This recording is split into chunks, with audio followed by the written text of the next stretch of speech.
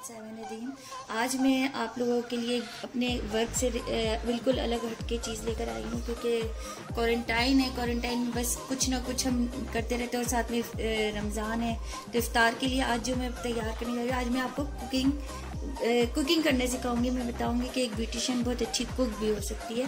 तो आज मैं आपको बिल्कुल एक लेटेस्ट अलग, बिल्कुल एक डिफरेंट चीज़ बना रही हूँ। बिरयानी तो आप लोग सब आमतौर पे खाते ही होंगे। मैं आप लोगों को जो सिखाऊँगी वो है बिहारी बोटी बारबेक्यू बिरयानी, ठीक है?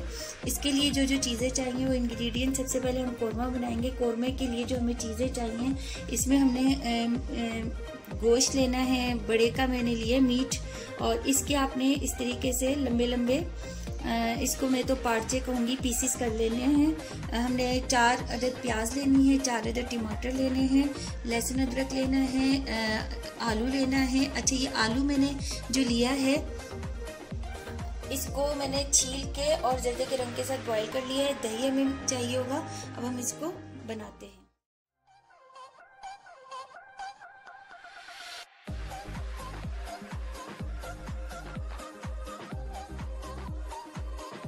जो मीट है, ये मैंने पहले से ही मैरिनेट किया हुआ है। मैरिनेशन इसमें ये है कि आपने थोड़ा सा लहसुन पाउडर थोड़ा सा अदरक पाउडर और वन टीस्पून मैंने इसमें सॉल्ट मिक्स करके इसको मैरिनेट किया है टू आवर्स के लिए। उसके बाद हम इसको फ्राई करेंगे अलग से ऑयल में। थोड़े से ऑयल में हम इसको फ्राई कर लेंगे।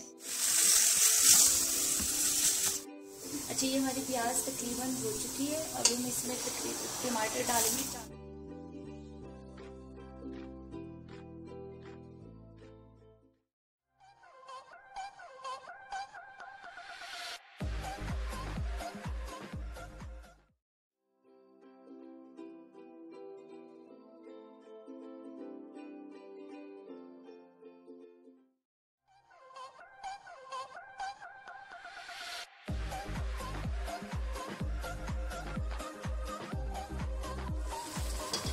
अच्छा ये जो हमने गोश्त फ्राई किया था, लहसुन, अदरक और नमक के अंदर जो मैरिनेट गोश्त था, वो हमने अभी इसमें मसाले में डाल दिए थोड़ी देर हम इसको भून देंगे जब तक इसका पानी खुश्क नहीं हो जाता। बहुत ज़्यादा पानी खुश्क नहीं करना है, क्योंकि मैंने चावलों को इसी मसाले में दम दूँगी।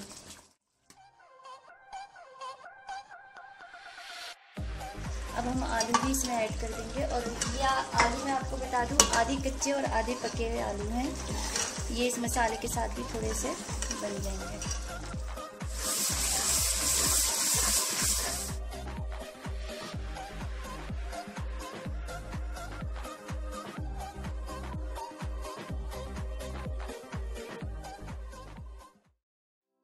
चावल मैंने इसमें डाल दिए हैं। चावलों को उबाल आने तक आपने दो कनी उबालना है। वैसे अमूमन आप लोग नॉर्मली एक कनी उबालते हैं।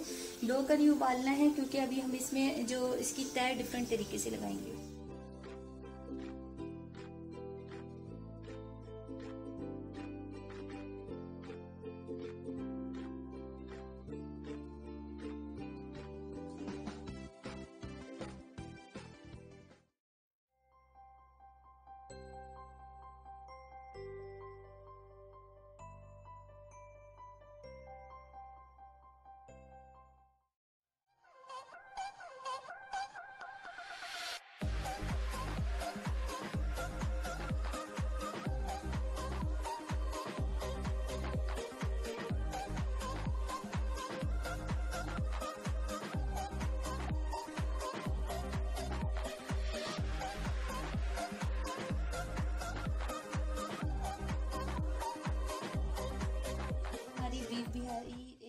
बारबेक्यू बिरयानी रेडी है और उम्मीद करती हूँ आप लोगों को अच्छी लगेगी, मज़े की लगेगी।